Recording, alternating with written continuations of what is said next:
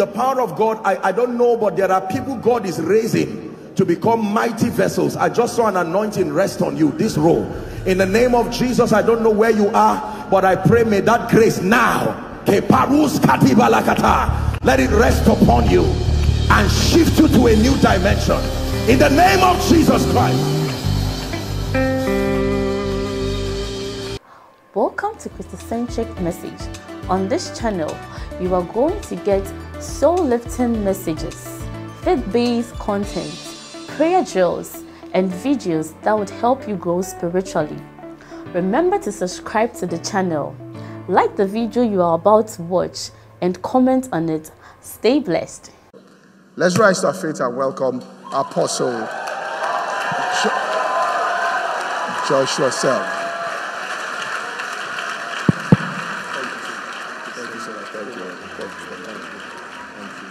Hallelujah.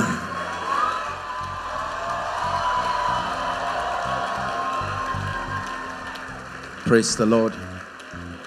Good afternoon, everyone. Thank you. It's my joy again to be here. Lovely church. Thank you. Thank you so much. Pastor, thank you. Thank you so much for the opportunity. And I trust that the Lord will bless us this afternoon. In Jesus' name. Can we hold hands together and just pray in the Spirit in one minute?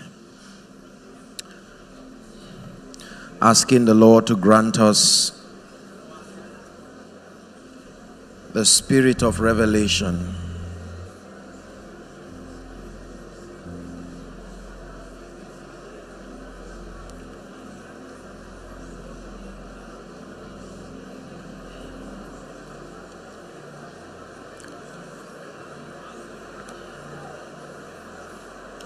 Someone praying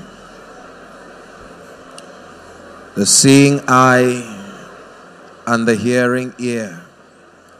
Grant unto me in the name of Jesus.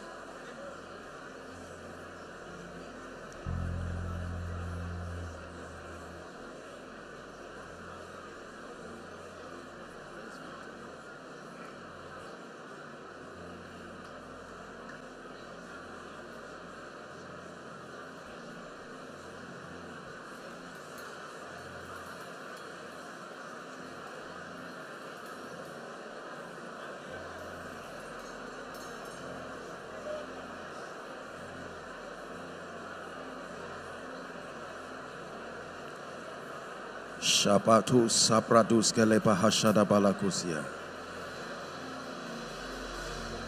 Father, we bless you.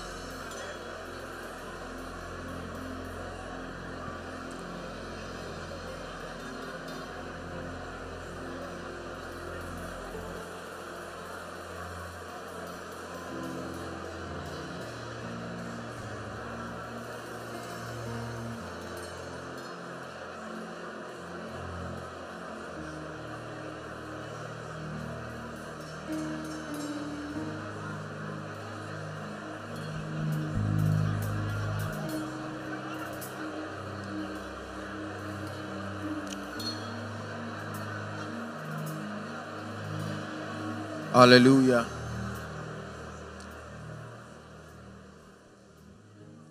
Jesus, we enthrone you. We proclaim you are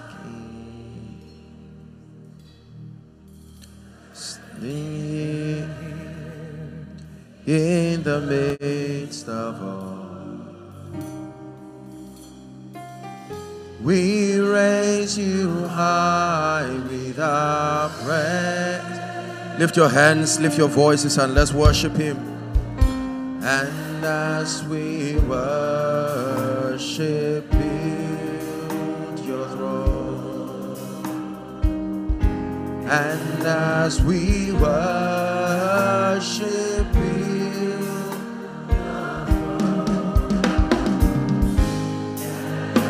Alabako sada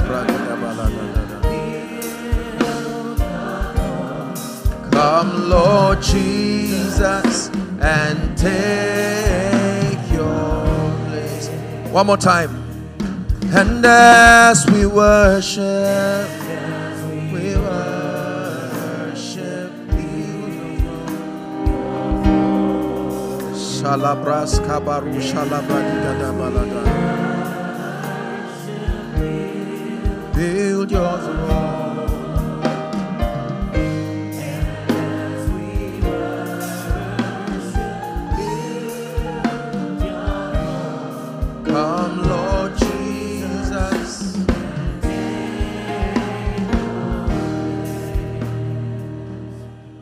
You, Holy Spirit.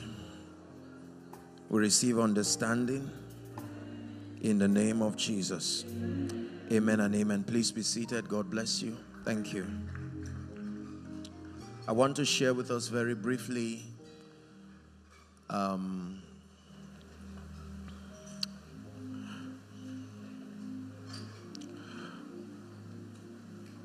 on a few things that I believe are vital ingredients that can help a believer to excel, that can help a people to rise to the fullness.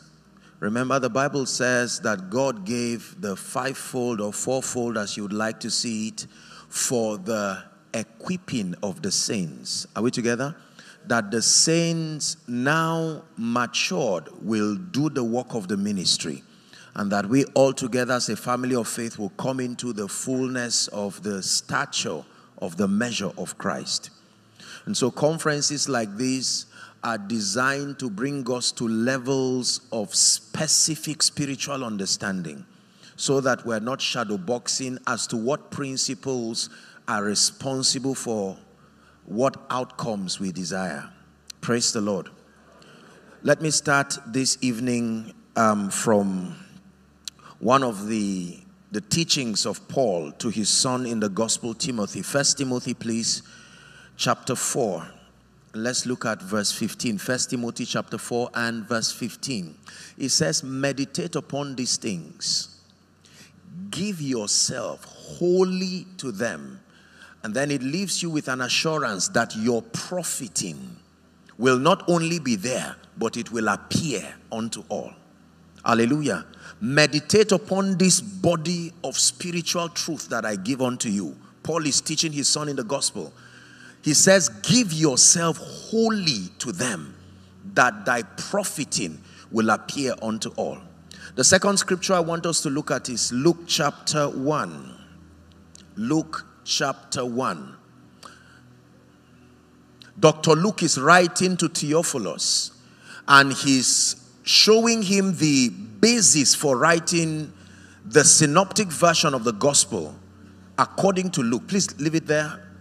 Um, it says, For as much as many have taken in hand to set forth in order a declaration of those things which are most surely believed among us. We're reading to verse 4. Even as they delivered them unto us, which from the beginning, Luke is speaking now, were eyewitnesses and ministers of the word. Verse 3. He said, It seemed good to me also, having had perfect understanding of all things. This is a dimension that is a possibility that a man can sustain perfect understanding, accurate understanding of all things from the very first to write unto thee in order, most excellent Theophilus. Why? Verse 4. Let's read together, please. One to read. That thou mightest know the certainty of those things wherein thou hast been instructed.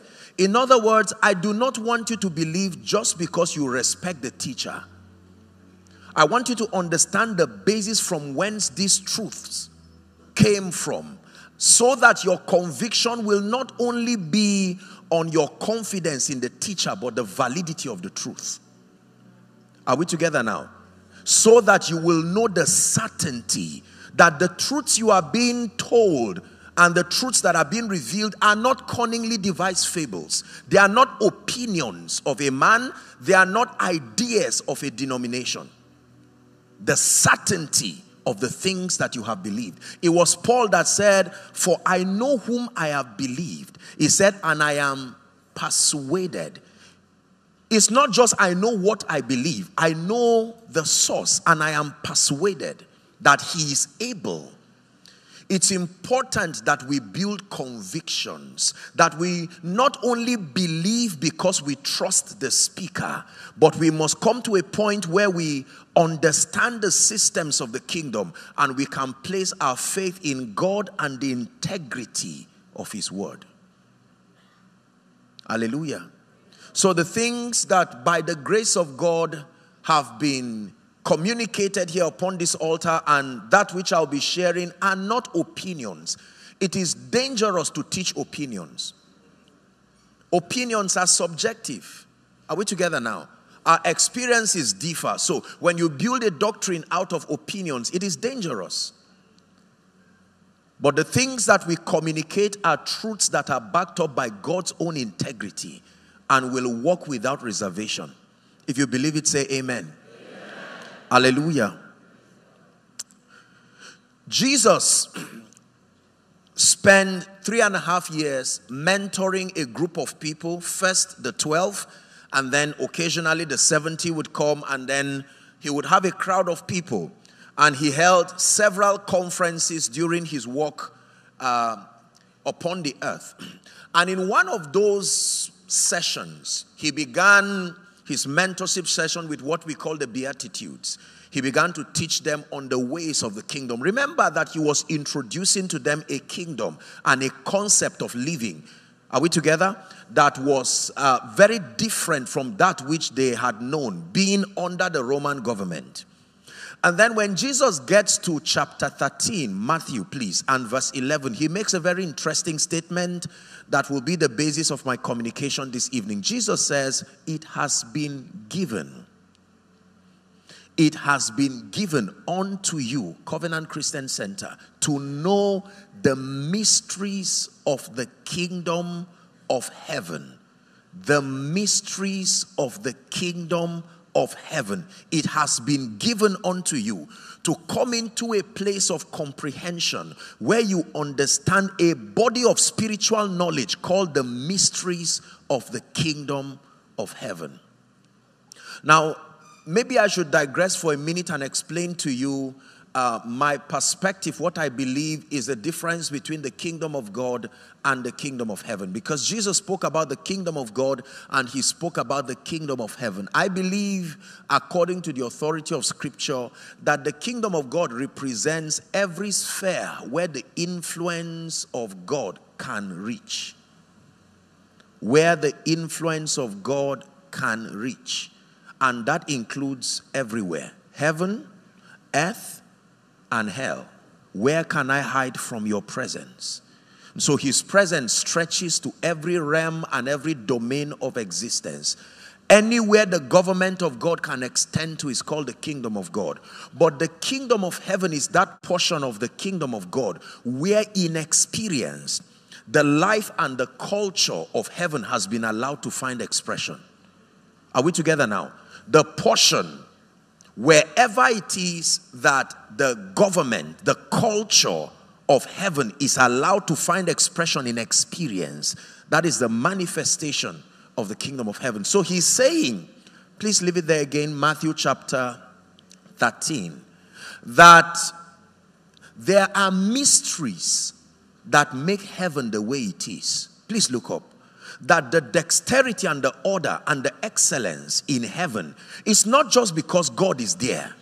There is a body of spiritual knowledge that makes the results that we find in heaven. Are we together? And he is saying, Now unto you, inhabitants of the earth, it has been given that you can also come into a comprehension of the truths that govern the sphere of heaven so that you can reproduce the same within your territory. This is what it means thy kingdom come and thy will be done in the earth as it is in heaven. So that when we handle this body of spiritual truth called the mysteries of the kingdom, we are able to reproduce the power, the prosperity, the grace, the possibilities that are only affordable in heaven. This is what makes us supernatural. The ability to transport a dimension of living that cannot be gotten from the earth realm. Are we together now? And the Bible tells us that these truths called mysteries, they are not mysteries because um, God enjoys them being secrets. Mysteries are a generic name that is used in the New Testament to capture a body of spiritual truth that can only be revealed by the Spirit. Are we together? These truths cannot be revealed just by education, secular enlightenment. It will take the ministry of the Holy Spirit to bring the saints into the comprehension. That's why it's called a mystery. It's a body of truth that is privy to a people. Are we together? Blessed be the name of the Lord.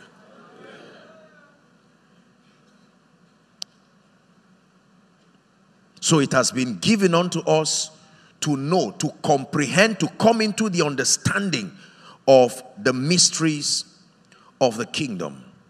And when we have this understanding, the Bible lets us know that we will reign. We will be able to walk practically in dominion. Now, I want to share with us, because our time is limited, I will only take um, maybe one or two of these, these keys that the Bible calls the mysteries of the kingdom. And then afterwards, we'll just have some time to pray and trust God to bless our hearts. Hallelujah. I have studied my Bible by the grace of God and I have submitted myself to the wisdom that spans across the body. And I have learned from scripture and from experience that nothing in life is by mistake. Nobody rises by mistake, like I shared yesterday. Nothing happens by mistake. The Bible says to walk circumspectly Ephesians chapter 5, as wise and not as unwise. And where is the wisdom? Capture all of the keys that can help you redeem time because the days are evil. So, your wisdom is your ability to have dominion over time. Are we together now? The Bible says, whoever can access the secrets that give you an advantage over time, you are walking in wisdom. The greatest gift God gave man aside salvation is time. Are we together now? And the unit of destiny is time. Whatever affects your time affects your destiny. Are we together? And it so happens that our lives, um, many of us, uh, well, well, it's not the case in, in, in most parts of the, the, the West here, the, the Southwest um, there's a, a heightened understanding of the things of God. So most young people grow up in families that know God. So it's very easy to connect them to the things of God. But it's not so around other parts of the nation. You would have to spend a very significant part of your life before you come into the knowledge of God. And already just for just for knowing God late, time is already against you. If you get born again at age 30, it looks like you are young, but it takes time to know God. It takes time to argue about the Holy Spirit until you finally open up your heart to receive Him. And then taking advantage of the prayer language to build your spirit.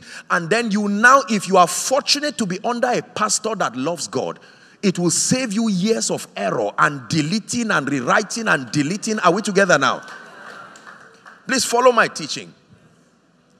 We're talking about time redemption here. The Bible says to walk circumspectly. The word circumspect means accurately. That means you do not have time to dilly dally and shadow box and guess around, make mistakes. You will not always have the time to correct it. So, our walk in this earth requires a measure of accuracy. And it says, in doing that, you have dominion over time and you walk in wisdom when you master time. Ask a dying man what he would want, he would not tell you real estate. Ask a dying man what he would want, he would not tell you a political position. Ask a dying man what he will want, he will not tell you he wants more degrees and all of that, as important as they are. A dying man's request is more time. Please look up. You have to understand this. The real asset of a believer is not just land, it's not just investments, it's time. Whatever attacks your time has attacked your life.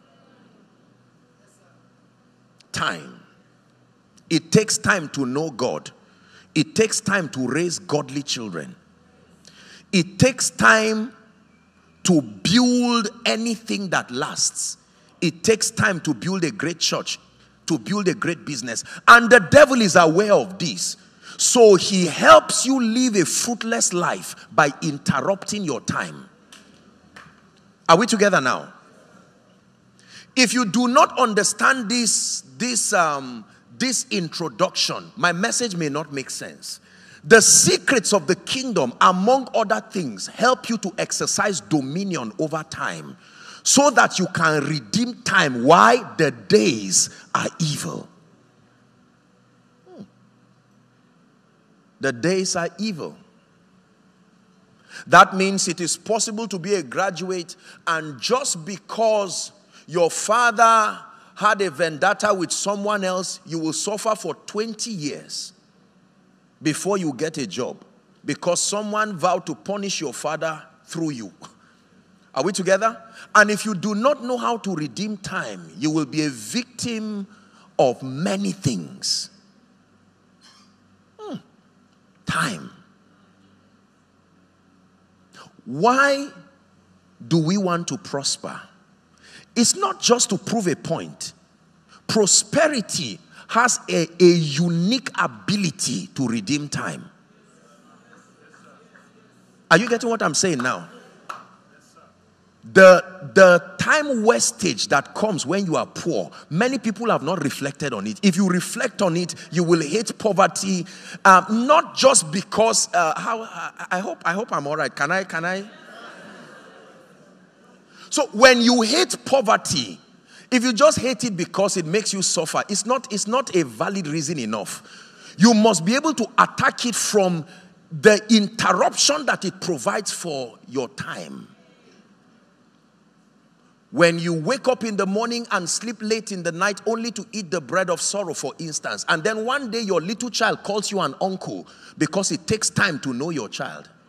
And the devil knows that once you have the keys in place, you will have time to serve God, you will have time to be serious. Notice before I continue, once upon a time, the nation of Israel, when Moses came to cry their exodus to Pharaoh, and he said, Look, the God of the Hebrews appeared to me and said, Let my people go. Pharaoh looked at him and said, Ah, I see. We give you straw and you just walk. So you have a little time to call upon God. Now stop giving them straw. The time they used to pray, let them use it to look for straw. And immediately they told Moses, Don't talk to Pharaoh again. We will remain in bondage. Time. Time is very, very important. Oh, teach us to number our days, he says. Not because we're afraid of dying. He says that we may apply our hearts to wisdom. So the Bible says to walk circumspectly as wise and not as unwise, redeeming the time. Why? The days are evil. Let me tell you what that means. By default, every man's life carries a disadvantage. Listen, just follow me. You will understand what I'm saying. By default, there is no advantage anywhere for any man. You introduce systems of advantage into your destiny as you go. The first of them being salvation. Are you getting what I'm saying? That means that when you have two people who have to live their lives by default, it's like making do with whatever grows in a farm. And what grows in a farm without being planted is weed. Are we together now? So I come from a family, for instance, with no advantage. And now it is my responsibility under God to understand God and His ways and then introduce to my destiny systems of advantage. Are we together? That begin to correct the, the errors that I met. So you come from a family where the first person builds a house at 50. It's not a testimony. You come from a family where something is wrong when you are blessed early. You see, all these kinds of things. Now you Come to a point where you know the Lord and you love the Lord, and the responsibility is upon you to take advantage of the provisions that the kingdom provides to start correcting. This is why we have things like restoration. Restoration is a system of advantage, and I will restore what? The years, not just the things, the years. Because when you lose time, you really lost. I will restore the years. I hope you know. Um, please, next time I call two people, um, if you are not one of these gentlemen on suits, just, just sit quietly, huh? Please. So let me have two people. I said it. Uh, please, come, sirs. Oh, no, no, no. Can I have a, another person? That, yes, come. Come. You two come. Thank you. Watch this. Let's celebrate them as they come. You stand here. You two stand here. Watch this. I want to illustrate something. Now, both of you just follow me carefully. This is this is this this um, two people living out their destinies. Let's start. Now we call this delay. Keep going. This man wants to move forward, move slowly, but this one has been delayed for 10 years. If I remove the constraint and he's moving, this is progress, not restoration, because he's still delayed. There is a provision in the kingdom that can pick you and bring you back here. Listen, so that if if you look at my life, you will not find the gap that the delay provided. Are you getting what I'm saying now? Please come again, sir.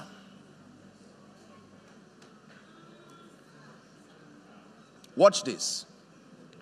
Again, we have two people. Let's, let's assume that they were married the same time, okay? And then this man now has not been able to have a child.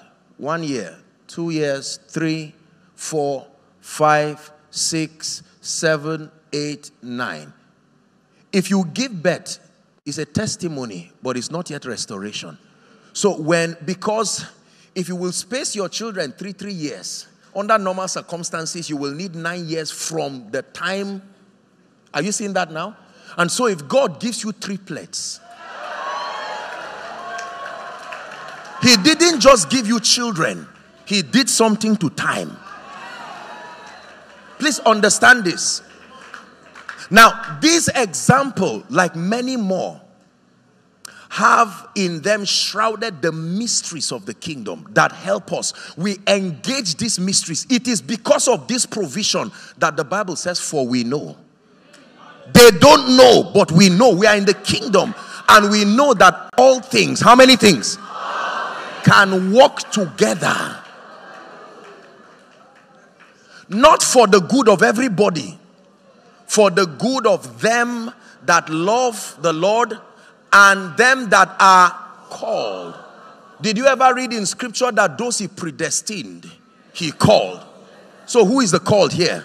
It's not just a man of God. We have been called, grafted into glory. The Bible says, for such people, the concept of being disadvantaged does not truly exist in the presence of the mysteries of the kingdom. That's why sometimes you say, God, time has gone, and He doesn't pay attention. Is because the provisions to remedy it are, are many. There are too many keys that can bring you back. Listen to me. God can keep you for a while while others are getting their jobs and moving. God says, just stay and know me. And you say, God, but I've already ah, my life. And God says, look, the kingdom we operate in is a kingdom of light. There are too many keys to bring you where you should have been. That's why when we don't trust God because we compare ourselves with others, the Bible says, and they comparing themselves with themselves are not wise. Hmm. Is God speaking to us now? So you come to God and say, Lord, I lost one billion. He will not even answer you because the concept of, of losses is something leaving you, not leaving the earth. It's still there. And the Bible tells us, listen.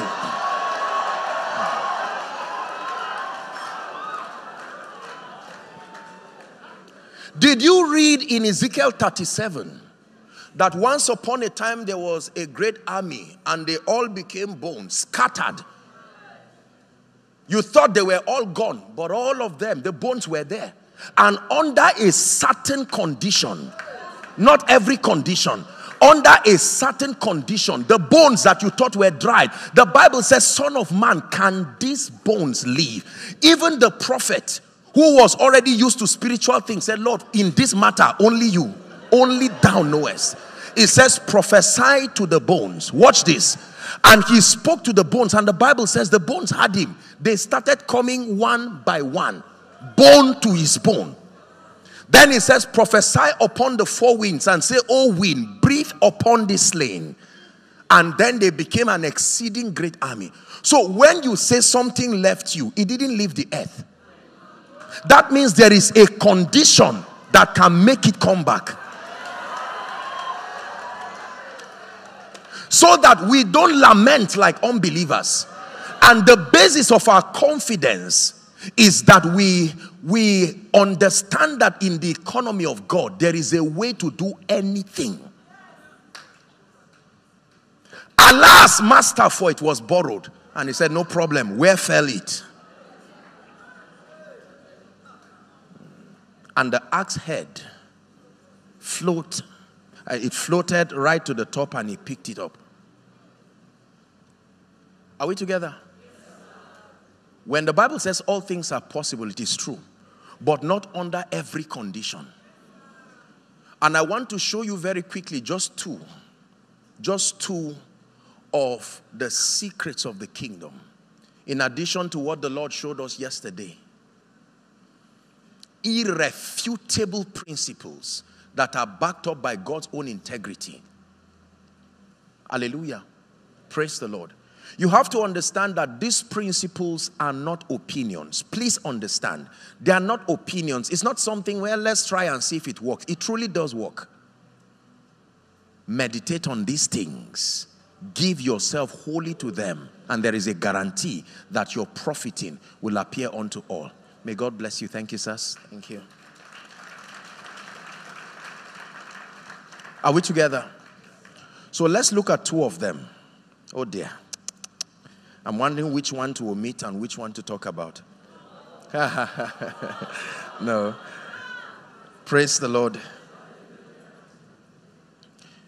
You see, our, this kingdom is a kingdom that operates by knowledge. Hosea lamented in chapter 4 and verse 6. He said, My people are destroyed for the lack of knowledge. My people are destroyed for the lack of knowledge. My people are destroyed for the lack of knowledge. It takes knowledge to be able to reign. The Bible says, Isaiah chapter 60 and verse 1 Arise, shine, for your light is come, and the glory of God is risen upon you. Are we together? I always like to quote it from Amplified. It says, Arise from the depression and prostration which circumstances have kept you. Rise to a new life. Rise to a new life for the glory of the Lord is upon you. The Bible says, Darkness shall cover the earth, gross darkness the people, but upon you the glory of the Lord shall arise. Verse 3 says, Gentiles will come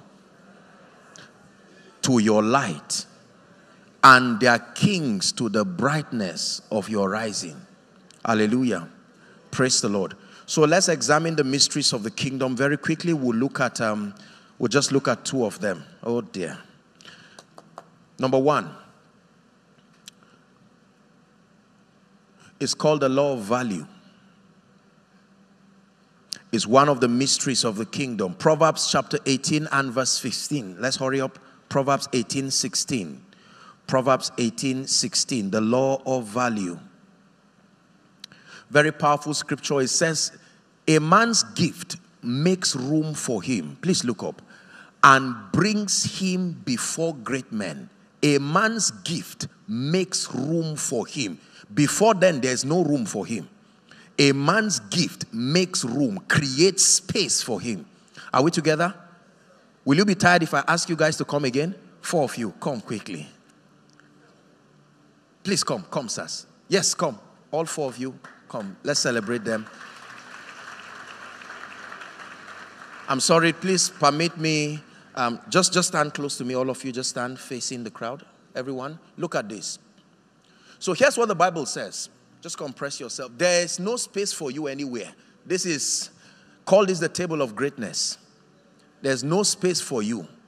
That, that idea that there is a place for you is a psychological consolation. But in reality, there is no space anywhere. Here's what the Bible says A man's gift will make room. Make room. There was no space for you, but it makes room. It will push people left and right and create your own space. The value Value is defined as a measure of usefulness. Value is a measure of usefulness. To be valuable means to be perceived to be useful as far as the context of a territory or a civilization is concerned. It is very, very important because most believers and, and Pastor Sir, I think um, you will agree with me that one of the challenges with the body of Christ is we have not paid attention to the secrets that make us dominate over the cosmos. Because of the presence of the Holy Spirit and the advantage that the spirit realm provides, sometimes we negate the power of principles like value. And we have this understanding that things would just find their way to fall in place. But we are dealing with men. This is the cosmos, the world of men. And the Bible tells us that when it has to do with dominion over the cosmos, to be wise as serpents and gentle as doves. A serpent is not a good reptile, but it says borrow wisdom from the serpent when it has to do with dominion over the cosmos. The serpent is disadvantaged in many ways. No hands, no legs, it crawls, yet you fear it. You have hands, you have the feet, and yet you fear that thing that just crawls. There must be some level of wisdom there, dominion. When a lion kills its prey, you will know because blood will spill. When a serpent eats its prey, you will not find where it was or where the prey is because it does not leave the stain of blood behind. It swallows it wholly, and the digestion happens there. A lion will eat and crack the bones and leave the remains.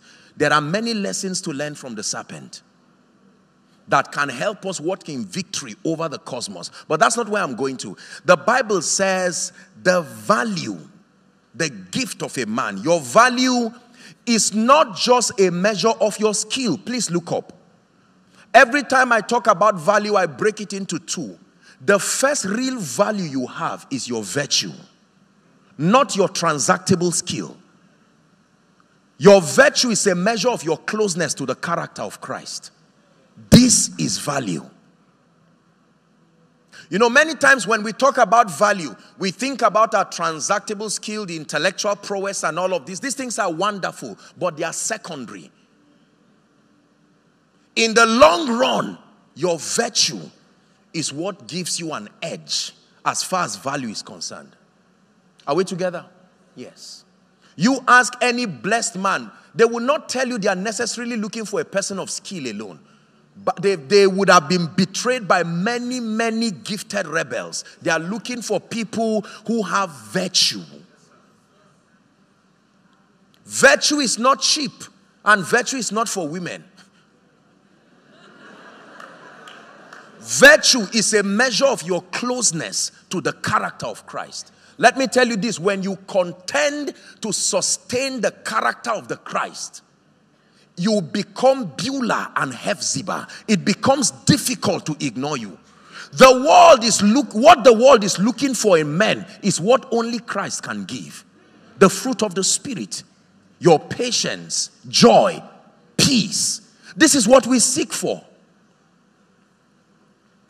You are valuable to the degree to which you walk in partnership with the Word of God and the Spirit of God to sustain the character traits that make you reflect Christ.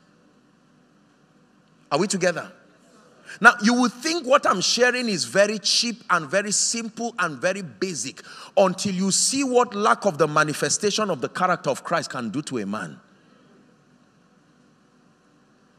Why do you lock your homes when you leave because there are people who don't have the fruit of the Spirit and you are aware of them. Are we together? Yes. Yes, sir. You came to church and yet you locked your car. Why? Because you are aware that there is an environment that may not exactly reflect your values. What makes heaven heaven? Because there is a system that judges rebellion immediately. Remember, we're talking about the keys that reproduce heaven here on earth. There was war in heaven and Lucifer was judged immediately. Notice that God is so secured, he never gets up from the throne to walk around heaven to check for loyalty. There is a system put in place. He is unperturbed, seated on his throne, yet rebellion is judged from any angle of heaven. That means you can sustain that same intelligence and save yourself the stress of policing people to check for loyalty. There is an intelligence you can employ in your business, in your life, that from where you are, you can detect rebellion. Are we together? Let me give you an advice deal ruthlessly with rebellion. Rebellion is not an advantage under any condition. You have a company and people are rebellious, let them go. Don't feel insecure, let them go. Whatever comes from rebellion comes pregnant, it will happen again. Hmm.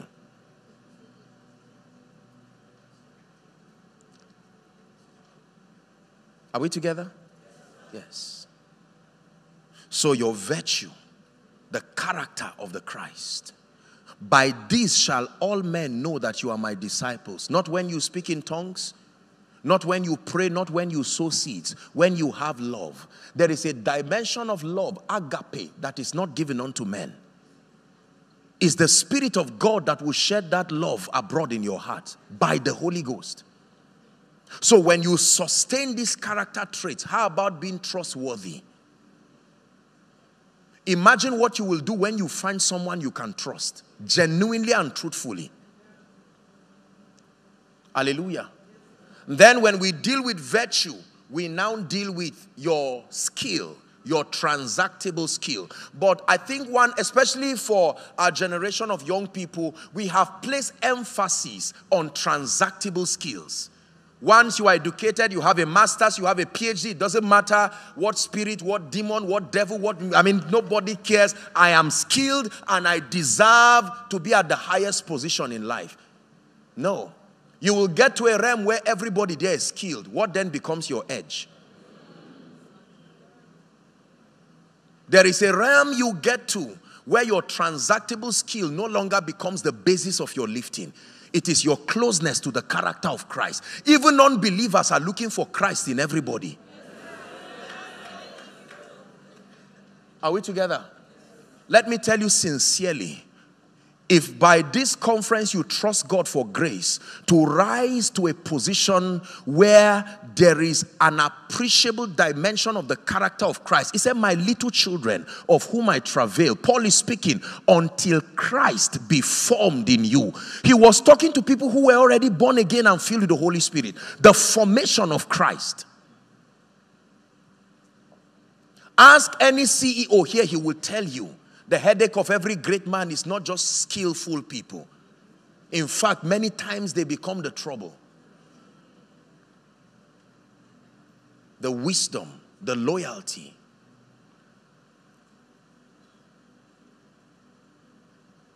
Are we blessed? But I tell you this you know you are valuable by who pursues you. If nobody is pursuing you, it's a report card that you are not valuable.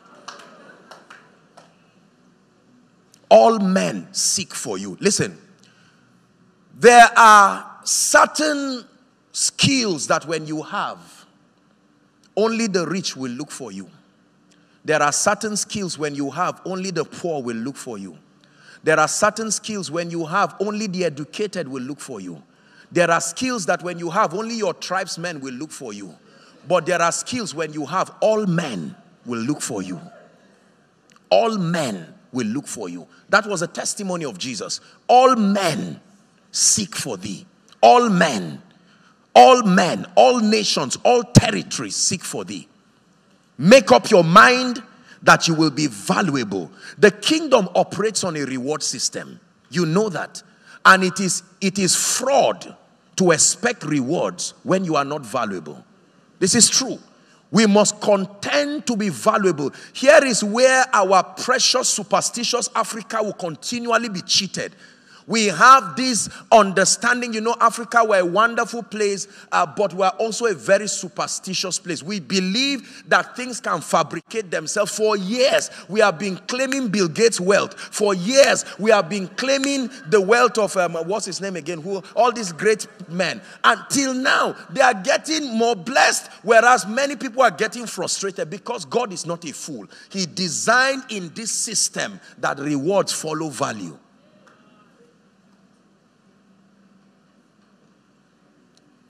Many people look at preachers and say, why these people are just blessed for doing nothing.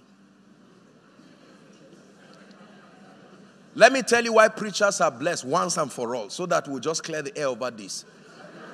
preachers are blessed because they are communicators of value. The value may be spiritual in context, but it is real value. Are we together?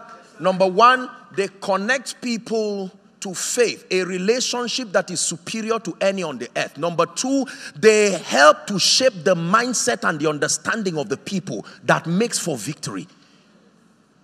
That's real value. Number three, they are spiritual conduits that communicate the possibilities of God. A miracle, a sign, and a wonder cannot be bought in a bank, cannot be bought in a market. Whoever aligns with God to receive that grace and communicate the same is valuable.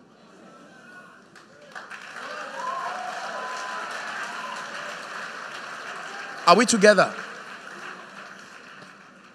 Seest thou a man diligent in his business? The Bible gives you an assurance that you will stand before men, before kings, and you will not stand before mean men. Let me show you two scriptures very quickly and then we'll rush. I apologize, I would not take so much of the time. Uh, let's just work with what we have. Ready? Exodus chapter 4, please. Let's look at verse 2 and verse 17. Would you be a bit patient? Thank you. Exodus chapter 4. And the Lord said unto him, What is in your hand? And he said, What? Let's go to verse 17 for time's sake. It says, You shall take this rod in your hand, and with it you will do signs. When you stand before Pharaoh, you are not allowed to speak too much. Let the rod keep doing the speaking. There must be something you carry that will continue speaking when your mouth is shut. Are we together? One of the principles of dominion is you must bet something out of you that immortalizes your impact. There must be a product or something that comes out of you that keeps speaking even when you are silent. Bill Gates is in your home. Zuckerberg is in your home. You drive him, he comes back. You bring him back by yourself. That's dominion. Are we together? You drive Coca Cola and cost them and cost them, and in three days they are back. They don't fight you when you drive them because they understand the addictive power of their influence over you.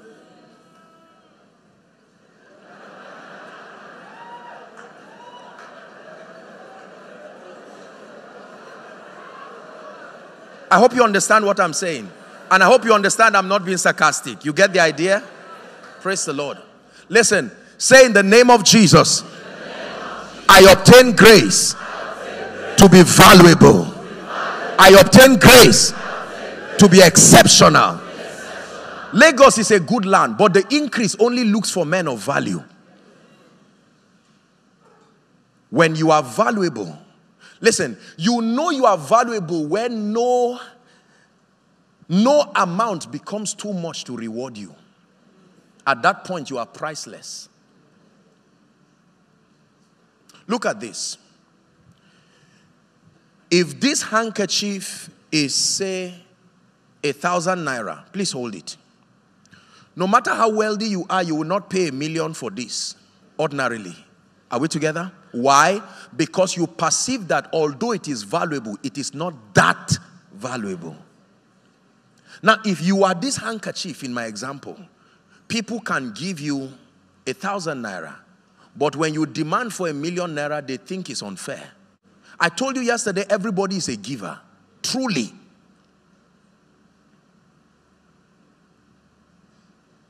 Can you rise to a level of value that makes no price becomes unfair, uh, that makes for no price to become unfair on you? That someone can look at you today and still give you a property worth millions and, and say, please, let it be a privilege for me to bless you because you are that valuable. I made up my mind as a person that in the name of the Lord, I would not just be a preacher, but I would be valuable that I would never have encounter with anyone and then you say, Oh, it's nice to meet you. Go away. No. No. It's a vow and a covenant that I made with myself. So it calls for study, it calls to expand your understanding. As a preacher, you talk to all kinds of people. If you're a medical doctor, the limit of your profession is just around the hospital and all of this. But as a man of God, you're talking with diplomats, you're talking with business people, you're talking with politicians. You must sustain the intelligence that communicates God to their sphere. It is not an impartation, it is knowledge that is acquired, it's truth that is bought. This is what will make you valuable. And I tell you the truth, Anybody, any preacher, anyone in ministry who is not ready to be valuable on this wise must be ready for empty pews.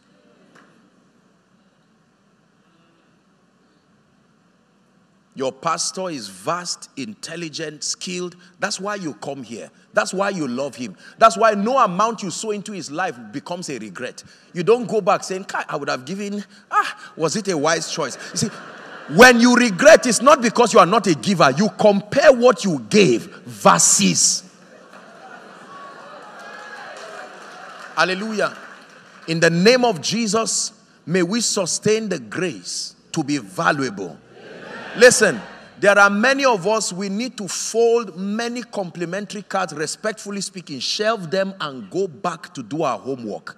There's no need going around and say, Look, I'm a great musician. You've not seen anointing till you invite me. If you have to market yourself on that wise, it's already a sign that you must go back and say, God, you called me. This, this, you called me. Place something both on my mouth, my lips. It says, My heart is inditing a good matter. Yeah, I speak of excellent things. Then it says, My tongue is the pen of a ready writer. Hallelujah. Every good thing runs away from me. Lord, there is a dimension of value I need to step into. Praise the Lord. I can cook. Who eats your food? You see, if kings, I, I hope you don't find this insulting. I'm just stretching us. Now, listen, let me tell you this. Please listen. Hallelujah. Are we together? Until kings look for you, you are not there. The real wealth and honor is in the palace, not outside. So you can start from Shushan like Hadassah, but don't end there. You can even come close to the gate like Mordecai, but don't remain there. Your real honor happens in the palace. You have a business and kings have not turned their attention. You are not valuable enough. Keep pressing. While they are clapping for you, let them do the clapping while you do the growing. You will grow to a point when you feed kings, you will eat from the treasury of kings. It is very easy to rise when we contend to be exceptional. It was Dr. Murdock that said, Your similarity creates your comfort, but it's your difference that creates your rewards. Birds of the same feather flop together, but when they are hungry, they flop together in unity when they move.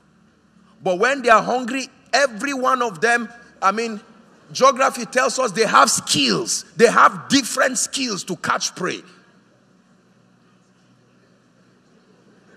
When you become like everyone else, you become easily replaceable. Let me define what it means. You see, To be valuable means to be given an impression that you are not easily replaceable. It is true that no man is indispensable, but becomes so difficult to replace that even after complaining, they'll say, Well, there's nothing we can do. We will still have to make do with you. Please make up your mind that I will be valuable. Make up your mind I will be valuable. That the day I have an interaction with my destiny helper, I will not talk to him twice. Once is enough. Hallelujah. The gift of a man. Let's do it one more time. Makes room for him. This is Lagos. This is your real estate company. This is your business. This is ministry. There is no space for you and it has nothing to do with sentiments. But when God anoints you and you walk on your skill, virtue, exceptional Christ like virtue, backed up by intelligence that is beyond argument, you bring these twofold dimensions, and life will shift and give you your space. It will not be an issue of tribalism, it will not be an issue of gender. There are not too many valuable people on earth, there are many human beings. But there are not too many valuable people on earth. Nobody likes me. You may be right, but why should they like you? Forget about the liking part. Why should they like you? It's an honest question you must ask. Why should because it's fraud when if you follow me, how many of you, watch this, how many of you have climbed a bike or Uber or whatever, and then you, uh, well, not Uber, they, they, they use the GPS system, but just a bike man, and he tells you he's taking you somewhere, he tells you he knows the place, and later on he, he will pass the place and say, sorry, uh, you, are you new in Lagos? Say, well, you know how this thing is. I'm, I'm not. Uh, where did you even say again? You see, the person was bold enough to start going, and look at the speed he was moving around and then you are just loitering around town, your time is going, and then you ask him, and then he will forcefully admit that I'm not exact. Let's help ourselves. Now, you don't follow such a person. Hallelujah. One of the levels of leadership that they teach in business is leadership by results. That people not only follow you because you are skilled and all of that, people need to see real results. And let me tell you, don't downplay the place of results. Nobody will follow anybody who doesn't have results. They may love you, they may pray for you, but they will not follow you. Follow me and I will make you. Follow me. I dare you. Follow me and I will make you. Hallelujah. Praise the Lord. Thank you. Thank you. Let's look at. Oh dear. The second kingdom secret that I want to teach quickly, if we stop here, that's, that's all right. Please do not forget this one. In fact, let's can we pray in tongues for one minute before I start teaching this?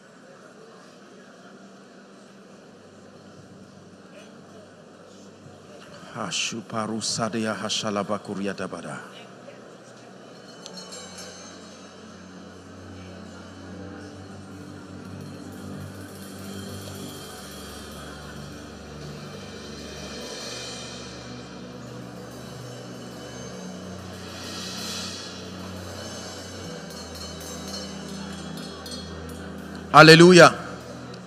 Second Samuel chapter 9. I call it the irrefutable ministry of destiny helpers. Please write it down. We live in a world of men.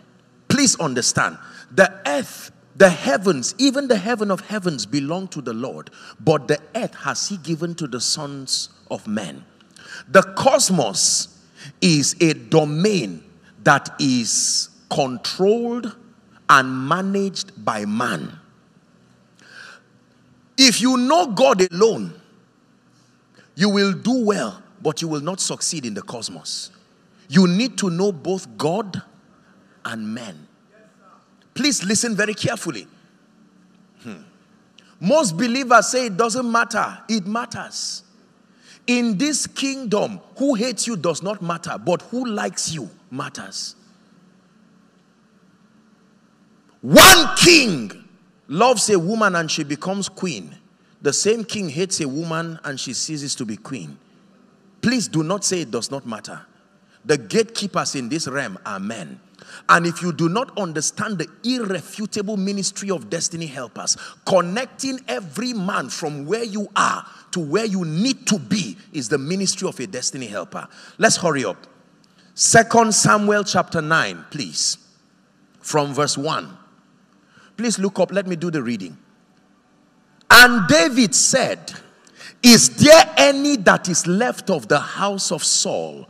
That I may show him kindness for Jonathan's sake. We're reading the first 11 verses too. And there was in the house of Saul a servant whose name was Ziba. And when they had called him unto David, the king said unto him, Art thou Ziba? And he said, Thy servant is he. Three. And the king said, This and that and that and that. And then let's go to, okay, hold on. Please go to verse 3 again. He said, and Ziba said unto the king, Jonathan had yet a son, which is what? Incapacitated. Someone is about to be lifted who does not have the ability in himself. Four.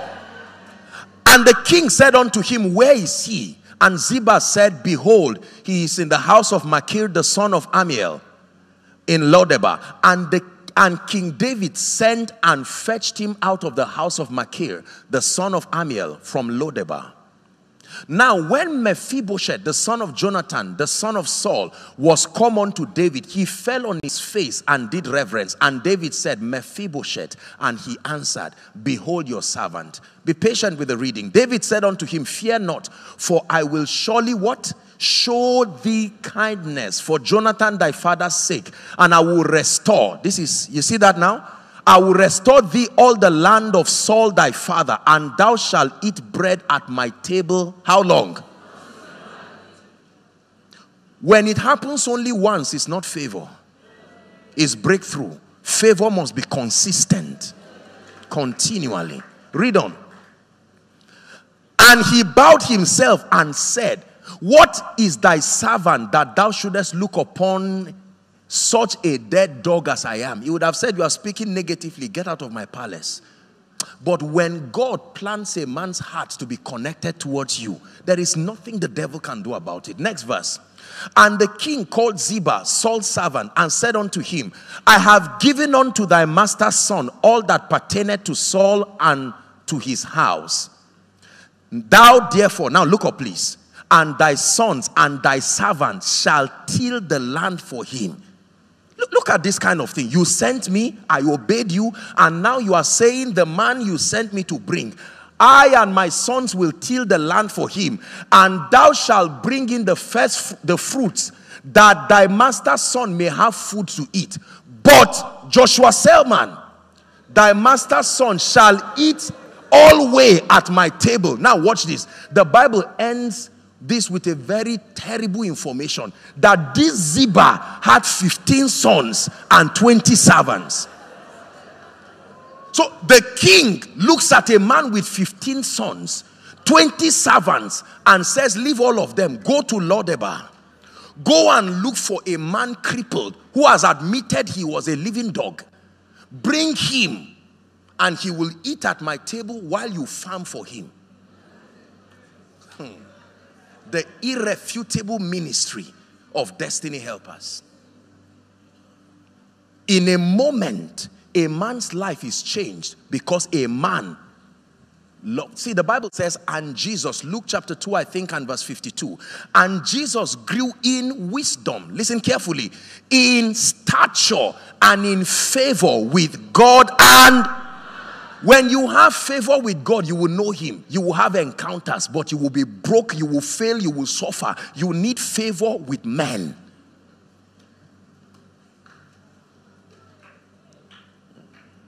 It's true. Please write this down. Destiny helpers are people equipped, empowered, ordained, and assigned by God to help you fulfill your destiny. They are not people who just come, they are ordained, they are assigned, they are empowered by God to help you fulfill your destiny and also to take you to the next level of your life. Let's hurry up. You can get the tapes.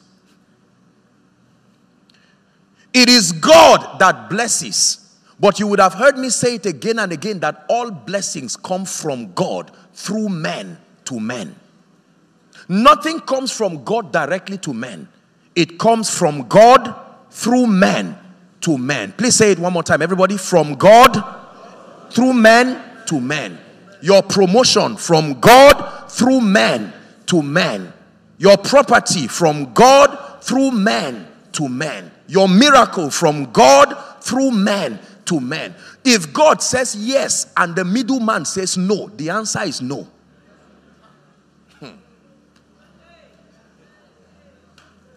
I wish I had time. Let's do a little Bible study. The Bible tells us, I would always want to use this scripture. Did you know that David in the wilderness, already God had rejected Saul as king? We're Bible people. Is that true?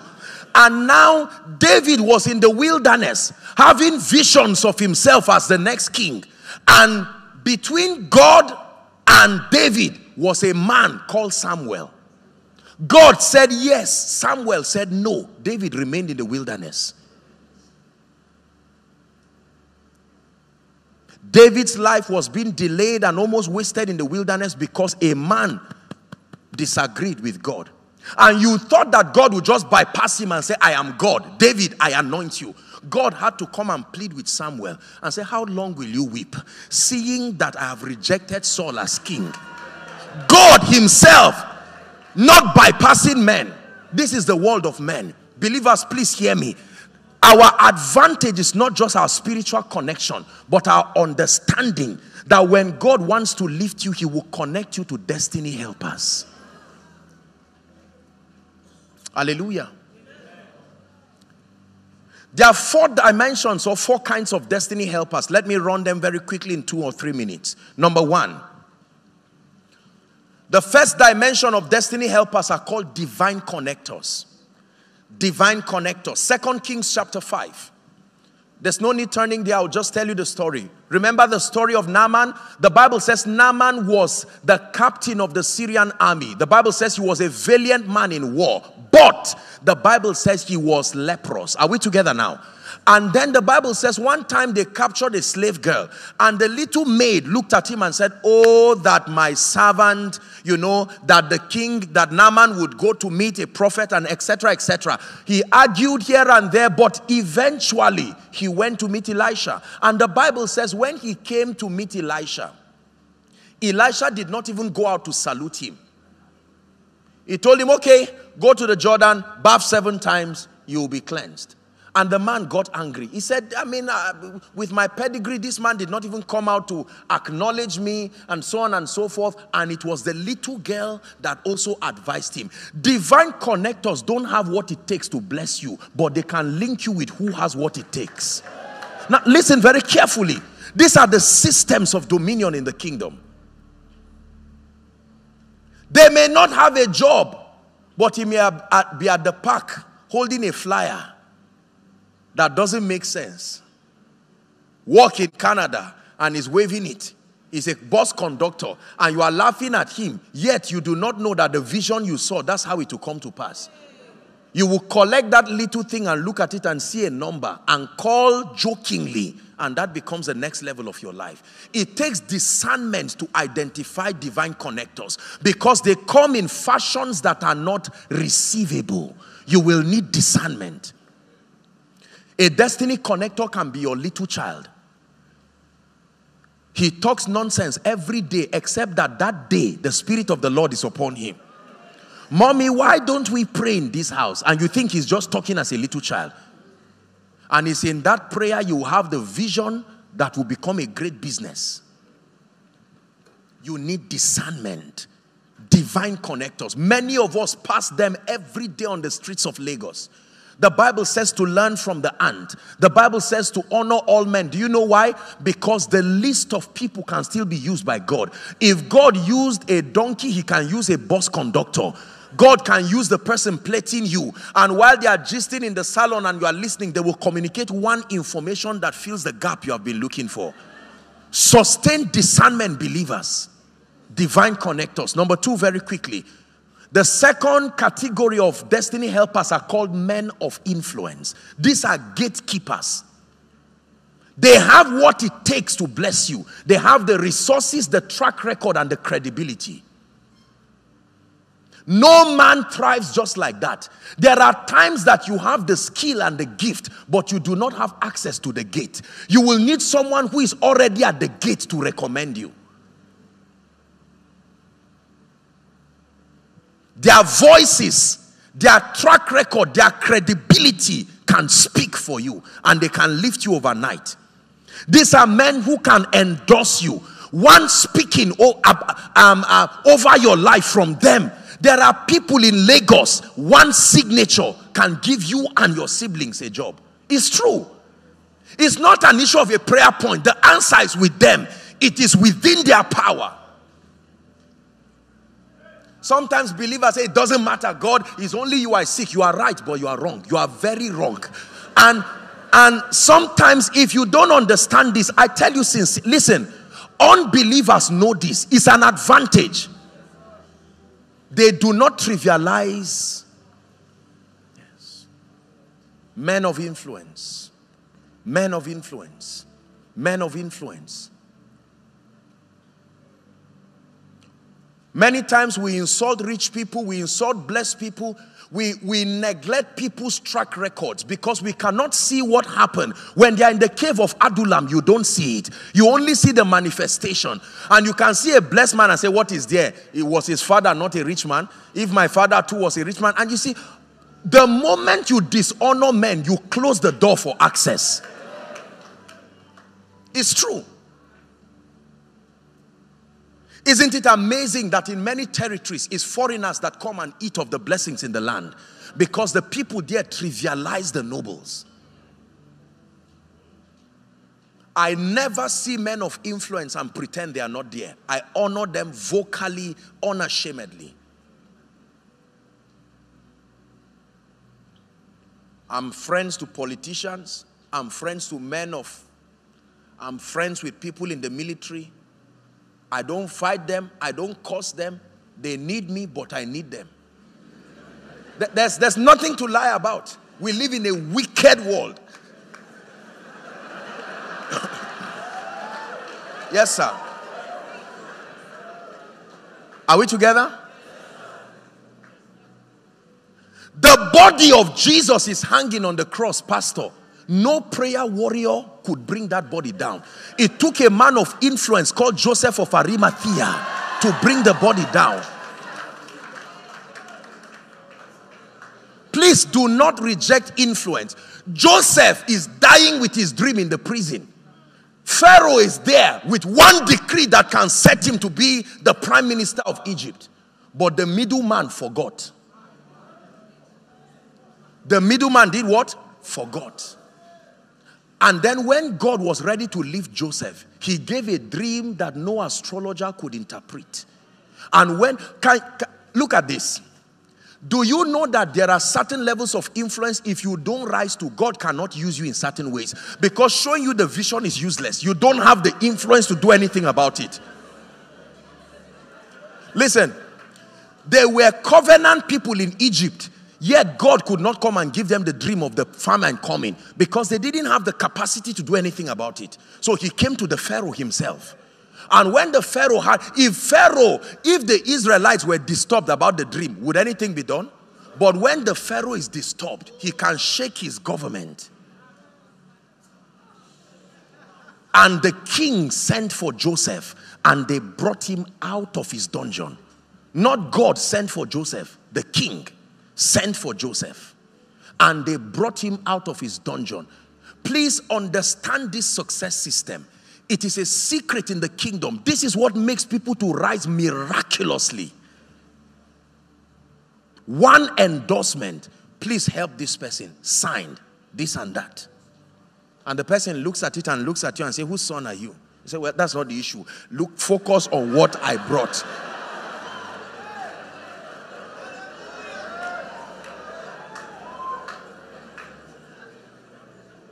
Listen, I'm saying this so you don't pray carelessly.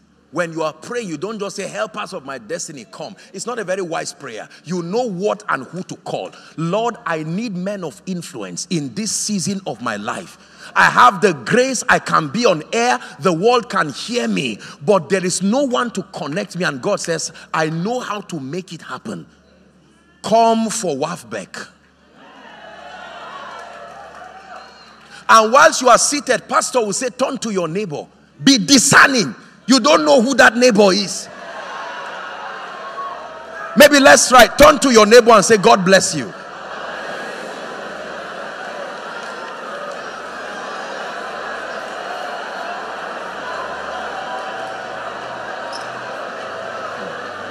Hallelujah. Praise the Lord. Forgive me, my time is up. I have to rush. Now, watch this. Please just lend me a few more minutes to just tidy this up. Look up, please. Men of influence, you must pray them in your life. Especially if you know that your background does not have any advantage. You know what I'm talking about. You must pray. Pray with understanding. Lord, take me out of this place. Someone can like you and just say, I don't know, but something tells me to help you. When that happens after this conference, call pastor and say, Pastor, that's it. It happened. It happened. Hallelujah. There are many ways to pay for things. The cheapest is through relationships. There are seven kinds of currencies. Money is the least of them. If you pay for everything with money, you are poor. Relationship is currency. Show me the receipt of the things that were bought by relationship. It's not always about money.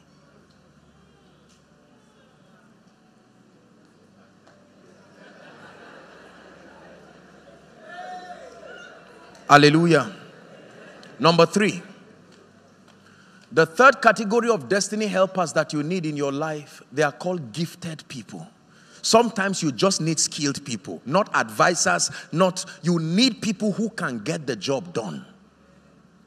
When I came to your church and watched the protocol, the greeters, and all the wonderful people, I said, They are gifted people in this church. You need gifted people because there are times you need results to be produced. There are companies wasting money every time because they hire all kinds of people that came by sympathy, they came by family relationships, and the long and short of it is that there's no productivity. You will need to pray, Lord, minimize my wastage by bringing people who are nations in one person. It's a real prayer. Let me tell you this the biggest companies in the world do not necessarily have a crowd of people, they have a few people with the brain of nations. And sometimes you just need to pray and say, Lord, make my life easy. Bring gifted people to my life. Bring gifted people to my life. Bring gifted people to my life. Are we together? Yes. You will need very gifted people. Please write this scripture down. First Samuel chapter 16 from verse 17 and 18. Just, just leave it there. Would, would, not be able to turn there. First Samuel 16, 17 and 18. You need gifted people. I pray this as a leader. I pray this as a person. When you meet gifted people, Lord, send a gifted driver to drive me. It's a good prayer. You, you die for nothing because of someone's carelessness. Lord, send a gifted driver to drive the truck in my company. You don't buy a truck 100 million and somebody will capsize it in two weeks. Does it make sense what I'm saying?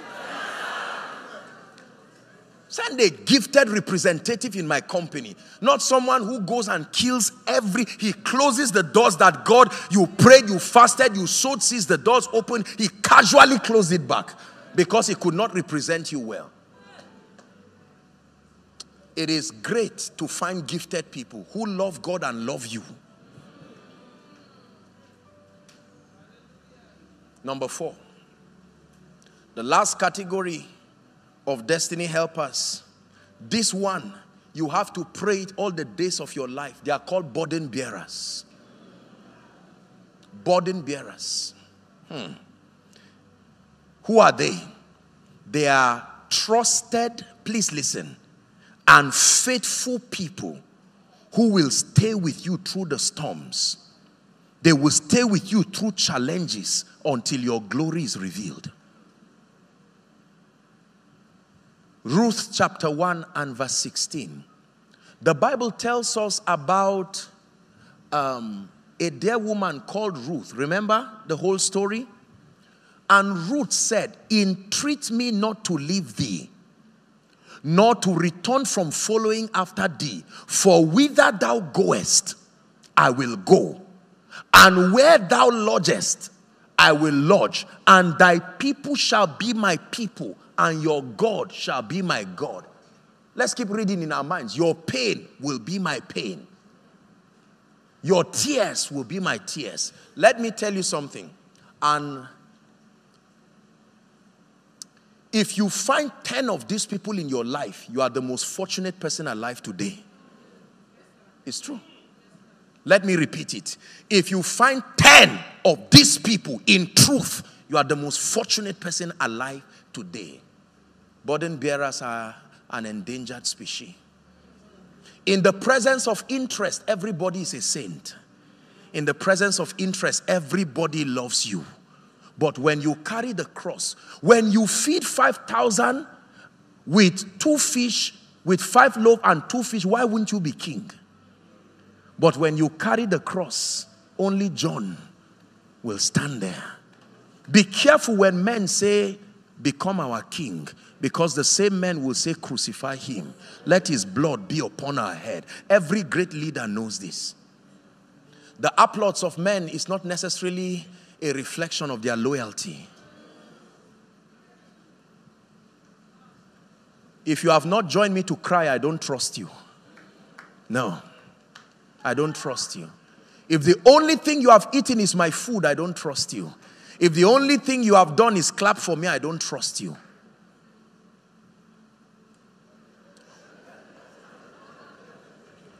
I trust you. I trust you. Hallelujah. Now, please listen to me. Everybody in this life will, at one point or the other, go through situations and circumstances that may test and try your faith. Some of you are in one now. You will need the gift of men and women who can look at you and say, It was never about your singing. And I pray for you, may that person be your spouse. Because if that person is not your spouse, listen, there are times that even Jesus weeps. You don't weep because you are no longer the Son of God. You weep because what is before you will require certain levels of sacrifice. There are times the company may plunge down, and to your shock, you didn't expect it. There are times that you have things happen around your life what happens at those times? You will need burden bearers. Let me tell you, these men will show up and stand with you and say, if you go to the prison, I'm there with you. Listen, Covenant Christian Center, don't just pray for burden bearers, be burden bearers. Listen, I want you to get to a point where you love your pastor unconditionally. We live in a time now where everybody around, everybody is warning everybody, everybody is pointing fingers at everybody, you know, and all of that. And we have to be careful. Every great leader prays for people who love them unconditionally. Don't pray for burden bearers until you are one. Listen, my life's goal, aside from being a man of God as I prepare to round up, is not only to be a preacher and to travel and minister to people. I truly pray that God will make me a shoulder that many can lean on. Yes. When you hear me preach, you think I'm holding a rod. The Bible said, Thy rod and thy staff. It's not only a rod I'm holding, I'm also holding a staff. Two of them are sticks, but they don't do the same thing. Thy rod and thy staff, they comfort me. Look at me. How many of us have been responsible for the prolonging of the pain of others? Whereas you would have been there to say, listen, I don't know what happened in the office. They said they charged you with fraud. I'm not interested. I just want to know you are fine. I hear you might go to the prison next week, but I'm here to say, let's pray. I didn't come to argue. I didn't come to find out who is right or wrong. I just came to hold your hands, and while they cry, you hold them. You raise me up so I could stand on mountain. You raise me up.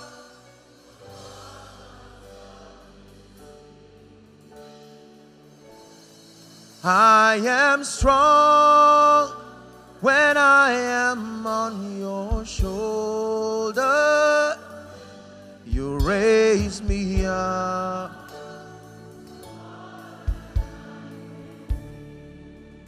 Listen to me. I'm rounding up. This is my final session with us. Listen to me, brothers and sisters.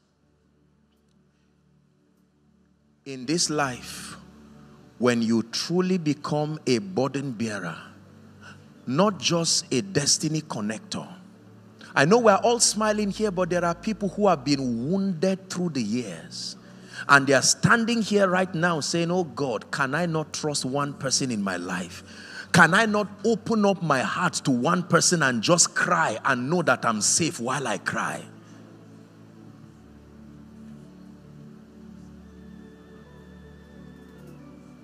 Men are men. And sometimes what they need is not argument. What happened? Why are you in court over the land issue? That's not the issue. Everybody is saying it. Say something else. Ah, I'm disappointed. You are a Christian, you are a lawyer, you were involved with this politician, you are a member of Covenant Christian Center. No. You should be the first person to say, It's all right. Don't explain. I don't want an explanation. I came here to hug you. I came with my husband to your house to let you know that though weeping endures for the night, imagine what it, listen, imagine the power. Imagine what happens to a person when you stand there to be the ones for them. If you cry, cry on me. Let your tears fall on my shirt as I hold you. Let us cry together. You just lost your child. Why were you that careless? Didn't you see it in the spirit? That's not the time to talk. Please, I apologize. Can you spare me just one minute? Let me just drop this and then we'll round up. Listen, our world is full of wicked people. Our world is full of heartless people. People will clap for you when you are on the throne. Sleep from the throne. Don't just fall. Just sleep from the throne. And they'll say, I always knew you were not my king. I'm a young man, but leadership has exposed me to a lot. I can tell you when you find people who love you unconditionally, swallow your pride and pursue them. You will not find many of that kind in your life. You may find a worker in your company, he may not be very intelligent, but he's the one who, when they are chaining you and the news is picking it, he can stand there and say, They should pick my face too. It is a token of my loyalty. You have to pray for these kinds of people in your company. Pray for these kinds of people in your life. This is how I pray. I don't pray carelessly. Lord, send me divine connectors. Send me men of influence. Send me gifted people. But in all your sending, send me burden bearers. Jesus is on his way to the cross and people are laughing at him. He's looking at those who ate his fish. He's looking at those who took this. Crucify him. And he said, Can you help? No, I will not help you. Crucify him. The blood coming from a 33 year old's body. And they said, I always knew. To the point that they said, Release Barabbas. Although a criminal, we prefer Barabbas. Be careful when people clap for you. They can clap you to your grave. Listen, Covenant Christian Center. Jesus falls and cannot get to Golgotha. Remember, if he died not on a tree, he could not become a curse. Because the law is cursed is everyone that hangs on a tree. But in the midst of that, a man came, Simon of Cyrene. That was Africa, picking the cross and saying, Jesus, as a continent, they may run away from you, but Africa will take you to the cross. We partook of the sufferings of Christ, and that is why the glory that follows must come upon the continent of Africa. I can imagine the relief. Simon, you are helping Jesus. Don't put yourself into that mess. And he said, No, I've set my hand on the plow. And he dragged the cross. Listen to me. Hold hands with someone by your left and right. This is a very serious issue. This is 2020. I cannot promise you that you will not have challenges. I only promise you victory. But between the challenge and the victory, you will not only need God, you will need men. Not men who want you to discuss everything about your life. What happened that you are no longer working? The last time you were CEO, I saw something in the news. What is it? It's not always about what happened. Can it now be about you? I'm more concerned about your victory than the job. What happened? Hmm. These are the keys of the kingdom that help us to reign. I only gave you two of them but there are many more. These are the systems of the kingdom. When I found this in my life, I vowed a vow that, Lord, if anyone is looking for a shoulder to cry, send me. Don't just send me to preach. Let me be a true confidant. Let me be one who can cry. I'm not ashamed and I'm not embarrassed. Let the world know that I not only preach, but I can help. We can cry together. Lift your voice and pray. Make me valuable, but send me helpers, oh God. Send me helpers in the name of Jesus. Send me helpers by the power of the Holy Spirit. Is someone praying? Send me divine connectors by the Spirit of the living God. Send me men of influence whose credibility and endorsement can lift me to another level. Send me gifted people to redeem time and produce efficiency. But my God, in 2020, in all your sending, send me burden bearers. Send me burden bearers. Men and women who will cry with me, who will celebrate with me, genuinely from their hearts.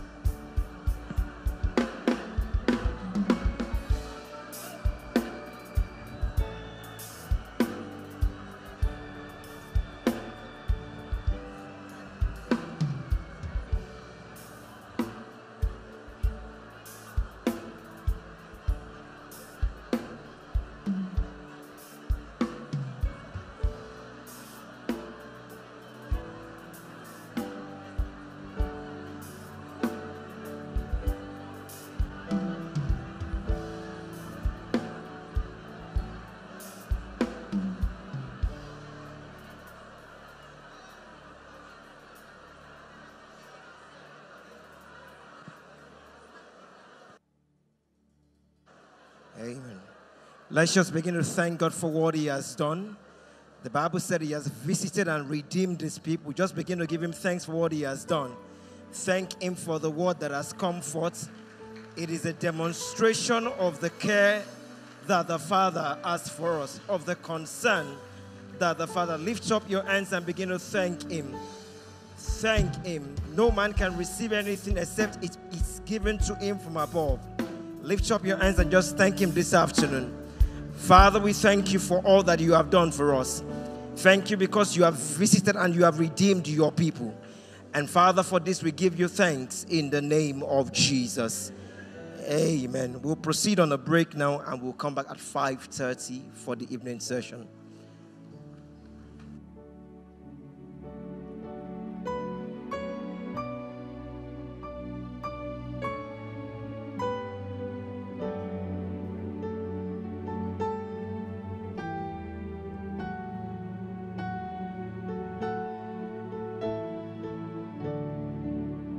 Dearly beloved, I hope you were blessed by this message.